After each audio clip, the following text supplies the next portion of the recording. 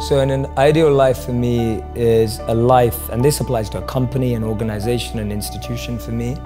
An ideal life is when we all have a head, a heart, and a hand, all three elements together, working in alignment.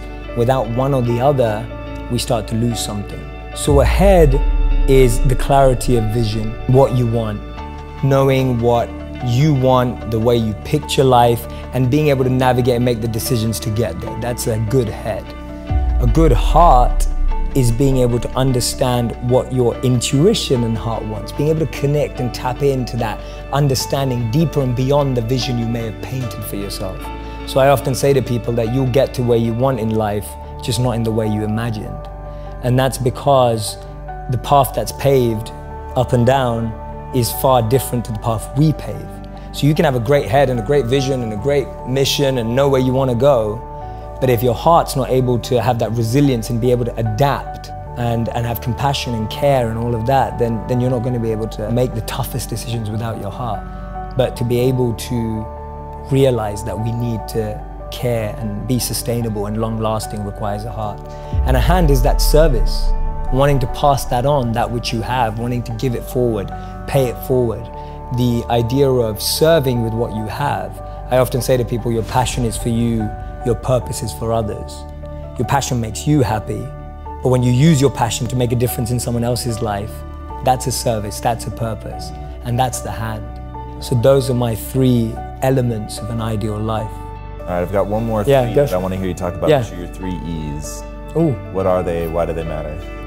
So for me, my three E's are element, environment, and energy.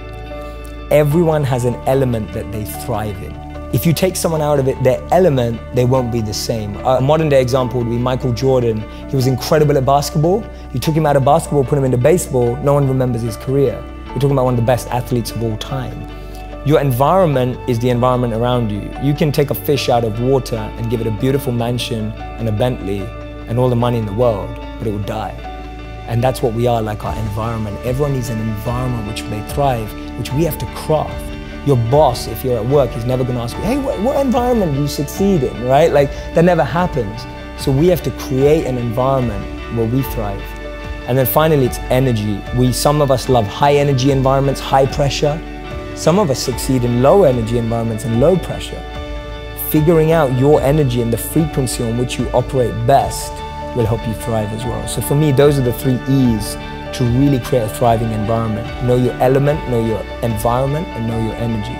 And so at, all times, if I see anything going wrong, I'm going, is my element out of alignment? Is my environment out of alignment? Or is my energy out of alignment? And that's a great three question test you can do to yourself when you don't think things are going right. And all you have to do is bring that back.